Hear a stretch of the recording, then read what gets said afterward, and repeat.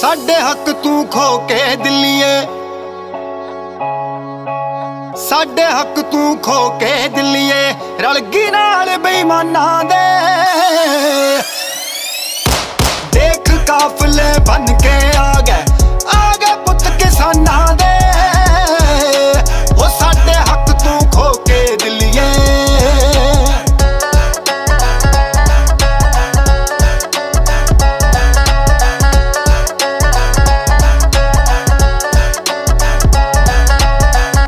ਸਾਰਾ ਮੁਲਕ ਵੇਚ ਕੇ ਖਾ ਲਿਆ।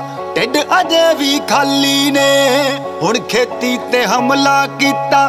ਦਿੱਲੀਏ ਤੇਰੀ ਦਲਾਲੀ ਨੇ। ਦਿੱਲੀਏ ਤੇਰੀ ਦਲਾਲੀ ਨੇ। ਸਾਰਾ ਮੁਲਕ ਵੇਚ ਕੇ ਖਾ ਲਿਆ। ਢਿੱਡ ਅਜੇ ਵੀ ਖਾਲੀ ਨੇ। ਹੁਣ ਖੇਤੀ ਤੇ ਹਮਲਾ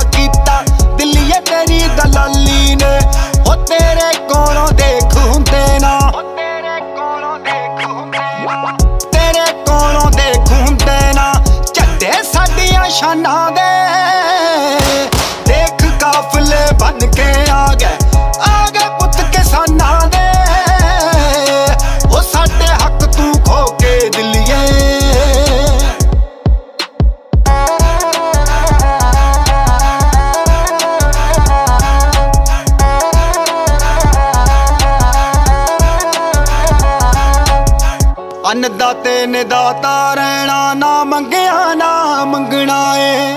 ਹੱਕਾਂ ਦੇ ਲਈ ਮਰ ਮਿਟਣਾ ਏ ਤਨ ਸੁਣੀ ਤੇ ਟੰਗਣਾ ਏ। ਤਨ ਸੁਣੀ ਤੇ ਟੰਗਣਾ ਏ। ਅੰਨਦਾਤੇ ਨੇ ਦਾਤਾ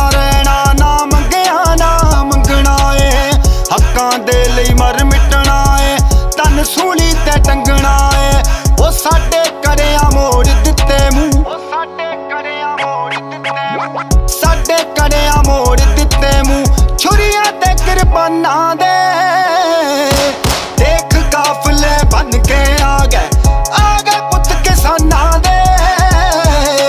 ਉਹ ਸਾਡੇ ਹੱਕ ਤੂੰ ਖੋ ਕੇ ਦਿੱਲੀਏ।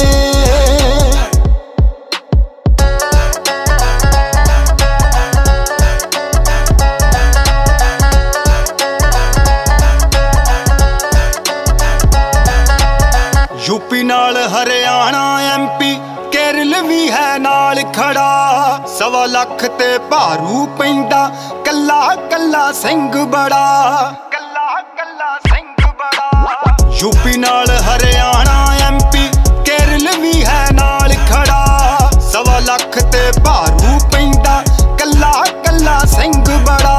ਗੱਲ ਦਰਵਾਜ਼ੇ ਬੰਦ ਕਰ ਦੇਣੇ। ਗੱਲ ਦਰਵਾਜ਼ੇ ਬੰਦ ਕਰ ਦੇਣੇ। ਗੱਲ ਦਰਵਾਜ਼ੇ ਬੰਦ ਕਰ ਦੇਣੇ। ਦੁਕਾਨਾਂ ਦੇ